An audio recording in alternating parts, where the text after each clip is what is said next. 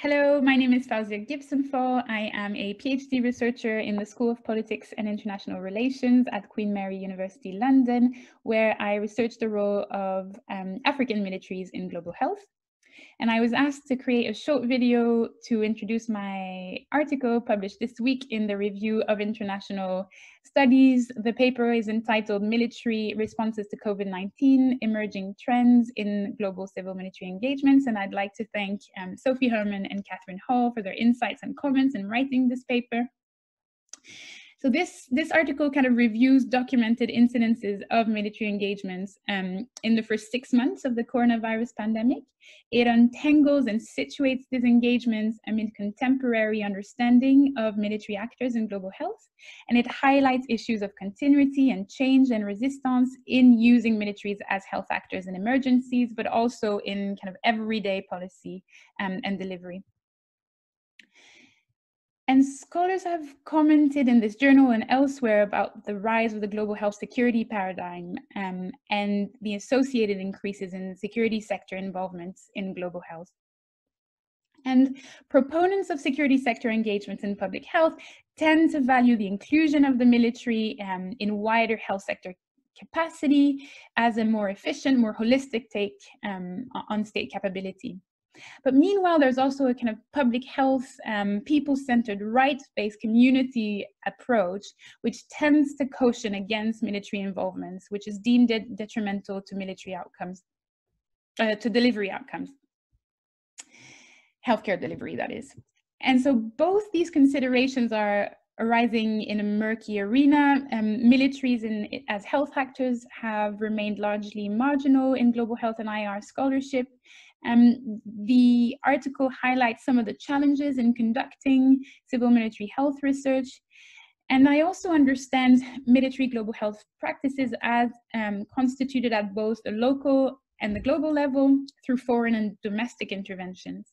And these practices are exacerbated through pivotal events. And so I identify, for instance, the Zika 2018 uh, epidemic or the 2014-2016 West African Ebola epidemic, whereby militaries have undertaken what was often deemed um, a central role in, in, in these responses.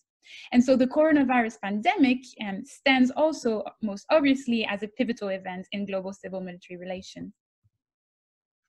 And this brings urgency to establishing common um, definitions and frames of reference to apprehend health-related military engagements in all its complexity and in, in all its um, case uh, specificity. And I identify three main trends of military engagements in the first six months of the pandemic.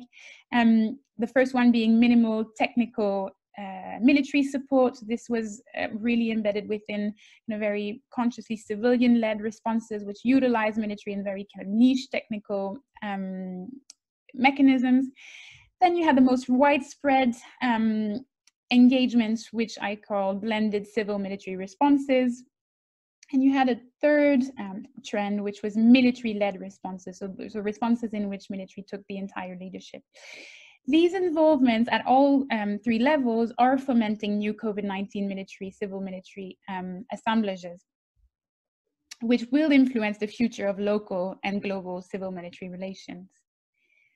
And, and in light of these three levels of participation, it appears that the recourse to military is threefold. First, it follows a country's historical legacy, so in civil military relations and perceptions of military delivery. Second, these engagements tend um, tend to occur to fill gaps when, when, when systems are overwhelmed.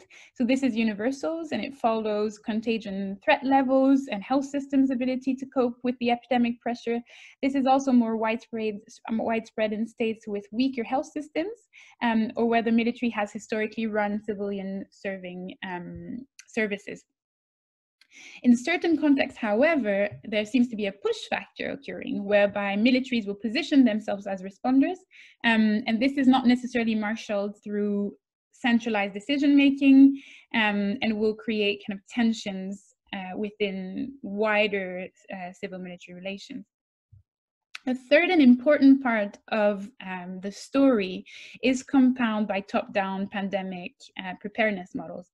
Um, and, and, and delivery framework. And, and when adopting securitized biomedical responses with uh, countries with weaker health systems tend to recourse to top-down, often military means. And in COVID-19, these responses are marshaled through the military to enforce measures such as lockdown surveillance, and border closure, and, and contact tracing. And so we urgently need to know more about the impact of these involvements. Um, do they make people feel safer? Do they impact on health-seeking behavior? We need to understand case variability and con context specificity. And in COVID-19, what is becoming clear is that um, there is an increase in policy and practice linking military and health actors. And this is likely to have a normative impact, further entrenching militaries as common actors um, in the health realm.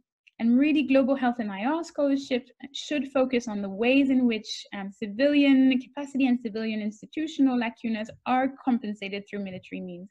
And this would allow for better and more resilient community responses. So I hope this made you want to read the paper um, and thank you for listening.